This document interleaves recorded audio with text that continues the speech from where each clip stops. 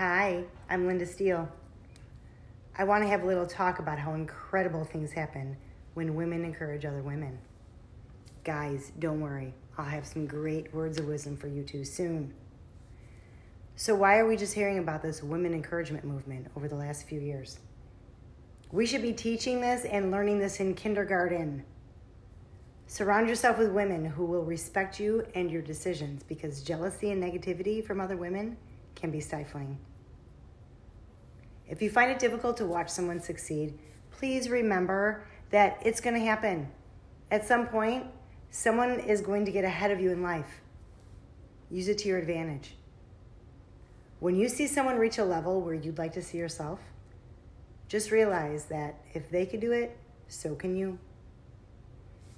Most people do not become successful overnight.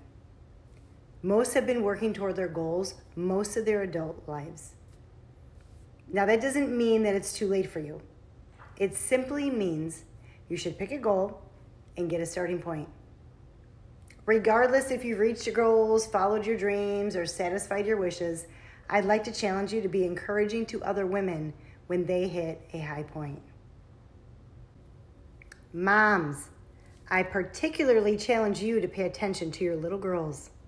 Let's be honest, some little girls today are some of the scariest mental terrorists out there.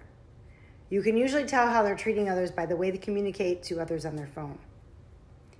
If we start teaching this positive encouragement and patience as early as kindergarten, by the time we've raised young ladies, they'll understand that it's okay if their peers have something or get something or accomplish something before they do. As a result, they might not be so jealous.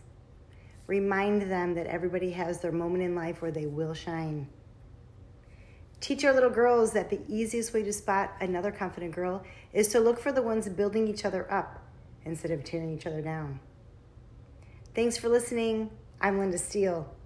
Don't forget to subscribe to my YouTube channel and turn on your notifications for some other great tips.